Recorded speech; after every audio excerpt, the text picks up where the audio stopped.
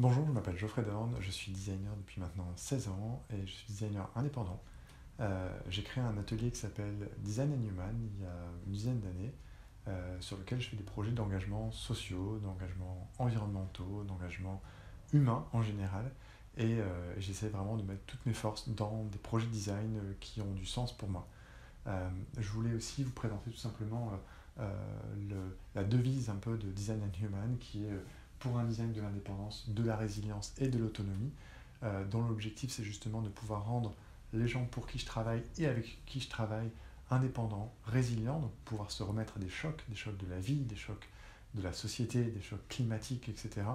Et des questions d'autonomie aussi, qui fait que quand je travaille pour des personnes, que ce soit des personnes réfugiées, pour des jeunes décrocheurs scolaires, pour des gens qui sont dans la rue, pour les droits des femmes, etc., euh, et ben j'essaye de rendre les gens le plus autonomes possible pour qu'il n'y ait pas forcément besoin de designer et qu'il n'y ait pas forcément besoin de moi par la suite.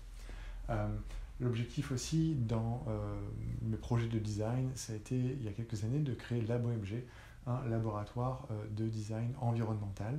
Donc on fait des projets, je travaille avec ma compagne Margot, avec qui on travaille sur des projets environnementaux. parce que pour moi, il y a vraiment un lien entre la justice sociale et la justice environnementale et qu'on ne peut pas résoudre euh, les problèmes euh, soit de l'un soit de l'autre, mais que les deux évidemment vont de pair. Et euh, notre objectif justement au travers de nos projets, c'est de pouvoir penser et agir avec la nature, avec toutes les questions philosophiques que ça amène et les questions aussi éthiques que ça apporte. tout simplement, on fait pas mal de projets pour des parcs naturels régionaux, pour des jeux aussi sur les cultures inuites comme celui-ci et euh, aussi pour euh, euh, proposer une éducation aux sciences de l'environnement et de la nature. Bref, tout ça pour vous présenter assez succinctement mon profil. je voulais vous présenter, on va dire, trois projets principaux. on travaille le bois aussi. Trois projets principaux qui pourraient rentrer dans cette thématique de l'humanitaire. Donc, je n'ai pas forcément de définition précise de l'humanitaire, mais pour moi, c'est avant tout des projets sociaux, des projets d'engagement, des projets qui m'animent au fond des tripes. Euh, le premier projet, c'est Refugiae. Donc ça, c'est une typologie de projet. C'est des projets dont je suis à l'initiative euh, et pour lesquels il n'y a pas de client, de commanditaire. Euh, il n'y a pas d'argent que je reçois pour travailler sur ces projets. Refugiae, tout simplement, l'histoire est assez simple. J'avais rencontré des personnes réfugiées lors d'un événement. on ne parlait pas la même langue. On n'avait pas forcément les téléphones connectés qui vont bien avec Google Translate, etc.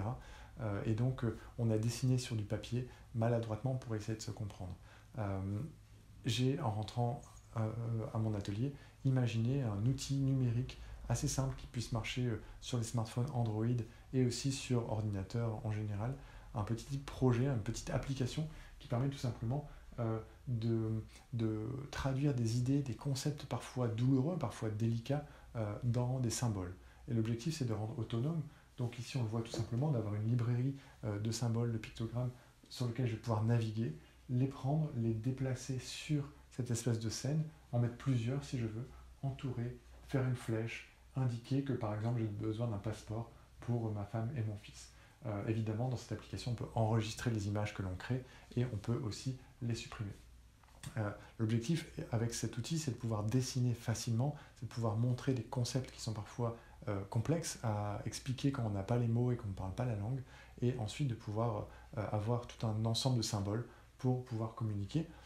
peu importe si ce sont des personnes réfugiées, peu importe si ce sont des gens dans les administrations qui n'ont pas forcément accès à des outils numériques plus élaborés, on sort son smartphone et on essaye de communiquer.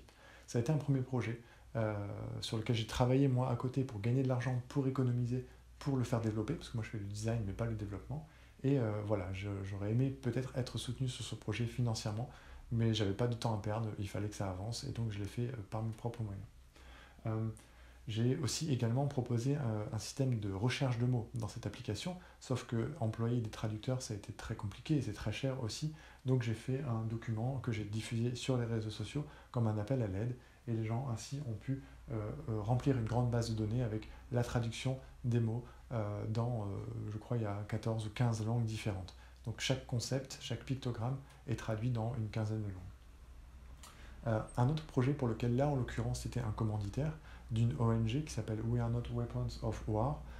L'objectif de ce projet, c'est de pouvoir endiguer, essayer de faire juger la question des, viols de guerre dans certains pays dans lesquels il y a parfois des exactions.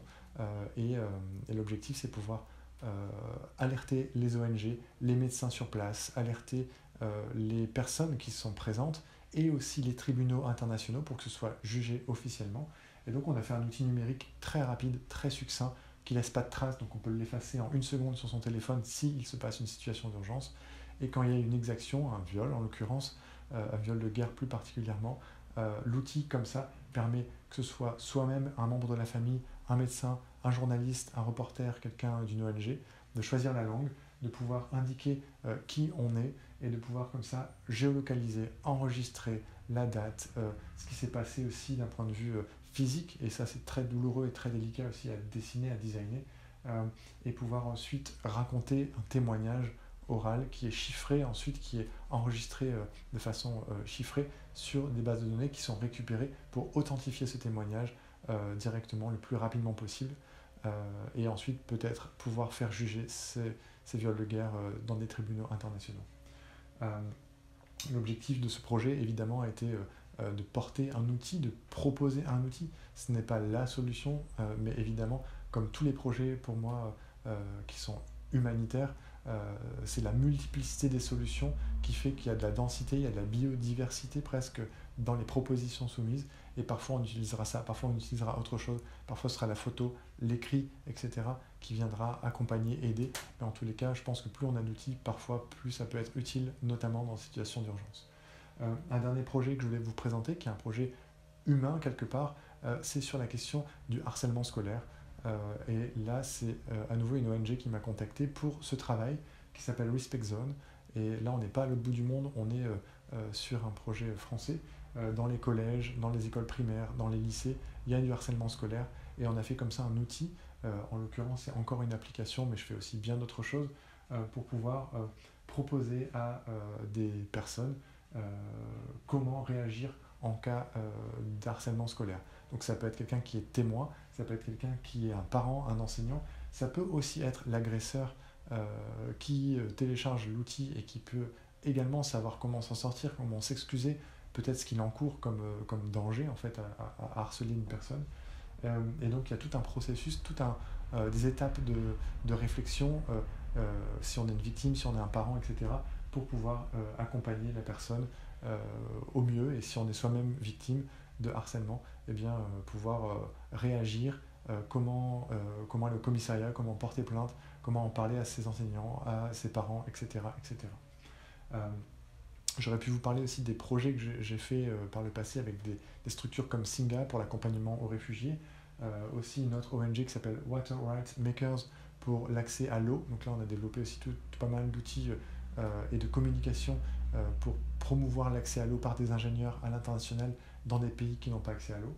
Euh, le travail que j'ai fait avec l'UNESCO et justement pour promouvoir la question des droits de l'homme, de la femme, des enfants, etc. Et puis aussi, j'ai travaillé avec Bibliothèques sans frontières sur un, gros projet, parce que Bibliothèques, sans frontières pardon, essaie de promouvoir la culture sur la route des réfugiés, sur la route des migrants, dans des camps de réfugiés, etc et donc en mettant à disposition des livres, des ouvrages, mais aussi du contenu numérique. Et donc j'ai travaillé avec eux notamment euh, sur le, le Cookbook pour designer l'interface d'accès à ce contenu euh, directement en ligne. Euh, j'aurais pu aussi vous parler de TechReef, qui est un projet sur lequel je travaille et dont l'objectif est de alerter les populations en cas de, de catastrophes climatiques urgentes, comme les tsunamis, etc. voilà, il y a beaucoup de choses, il y a beaucoup de façons de travailler ensemble. Euh, si vous êtes une structure, une ONG, une association, euh, une structure, peu importe laquelle, qui cherche à travailler avec des designers, euh, pour moi l'objectif c'est déjà de définir une modalité de travail. Est-ce qu'on travaille de façon non-profit? Est-ce qu'on travaille de façon bénévole? Est-ce qu'on travaille de façon financée? Quels sont les financements pour ce projet? Ensuite, la deuxième étape, c'est de pouvoir définir, de circonscrire le projet, parce que souvent, il y a tout à faire, et souvent, c'est génial, mais les projets peuvent parfois s'étendre et s'étaler. Donc là, l'objectif pour moi, c'est vraiment de travailler sur des projets précis, concrets, parce que je préfère quelque chose qui soit parfois petit, mais qui fonctionne vraiment, qu'un projet un peu nébuleux et qui ne fonctionne pas.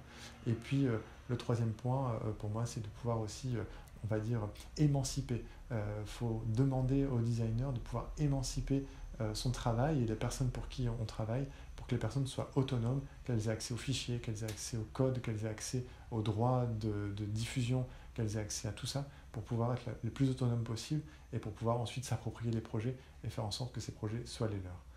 Voilà, je vous remercie, j'espère que j'aurai été clair et puis euh, n'hésitez pas si vous avez des questions, vous pouvez me joindre designandhuman.com. Au revoir.